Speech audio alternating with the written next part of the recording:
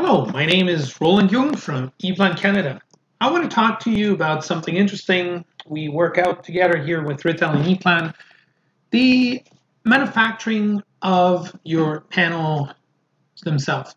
Now, before I actually go in and dig in a little bit about this, like I said, this is an interesting website, and this is really what I want to talk about. Not the engineering side of things, not the sourcing side of things, but really the manufacturing side of things. And what I want to compare it with is this one here. You probably all know these guys, right? They actually offer furniture. Any one of you has ever built one of those?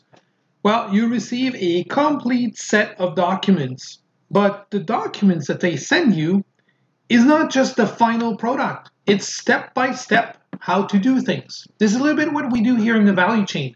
So when you discover a little bit more, you check out here the manufacturing, we think about the documentation geared towards the building of the panels themselves. So technically inside ePlan, if I want to build one of these two panels, what I'm going to try to do is not just give you let's say a drawing like this to show you, oh yeah, this is the panel I want you to build, and you figure out how to do it, I'm going to go more like this um, Swedish company, try to organize the documentation a little bit more in that direction.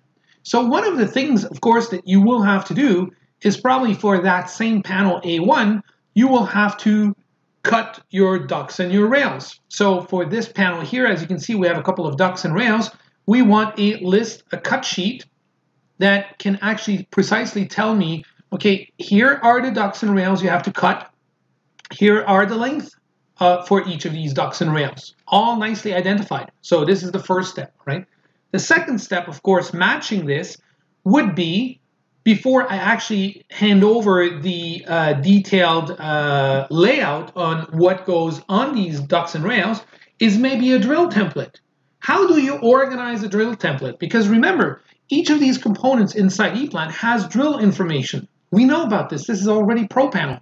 How do I generate this in a acceptable 2D printable view, which I show basically here in this small ePulse where I have all the drills and the holes. I even have a table like this. We call it a cutout legend. How do I generate one of these? Very easy.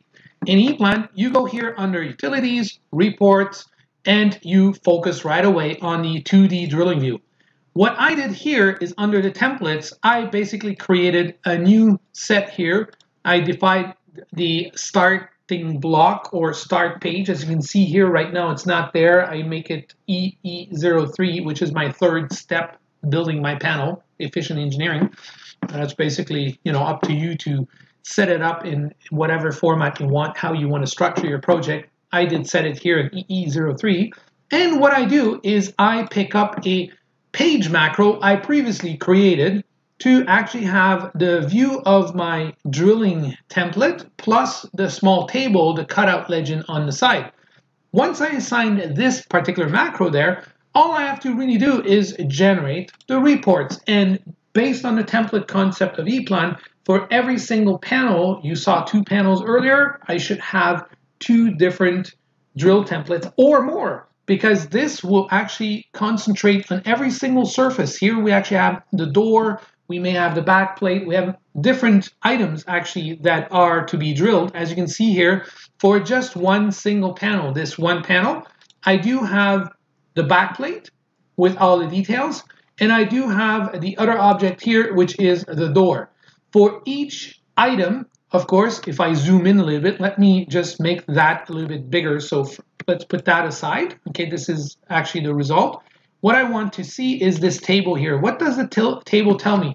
It actually tells me if the, it's a drill hole. Uh, I can see on the previous page, I can even recognize threaded holes.